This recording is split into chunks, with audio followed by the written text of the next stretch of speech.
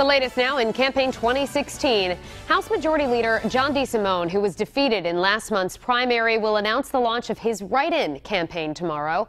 DeSimone will make his announcement at Hopkins Square in Providence.